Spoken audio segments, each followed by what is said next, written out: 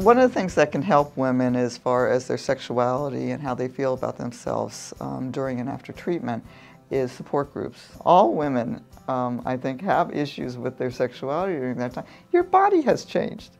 You know, there's no way around that.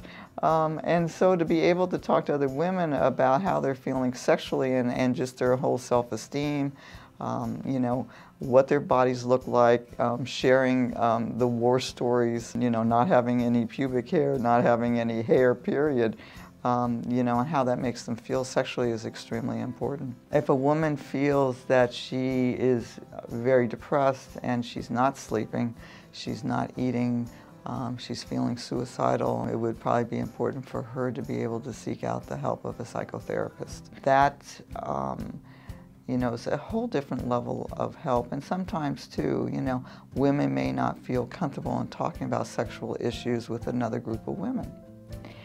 And so being able to have the help of a professional can help them through that time, not only for yourself, but if you have a partner that, you know, it may be helpful to have couples therapy, um, you know, because your partner, you know, is going through a lot too during those times about sexuality um, because all of a sudden the person that they're with is not the same person physically and emotionally they may not understand what she's going through right now. And a therapist can help in that sense in terms of being able to you know be that third party being able to help them open up that communication that dialogue that they may be having such a hard time with and normalizing the experience for them. In approaching a doctor about sexual issues, the first thing to remember um, is that your doctor hears everything. When women come to see me, I remind them of that. I've been doing this for 33 years. There is probably nothing that I haven't heard in my 33 years.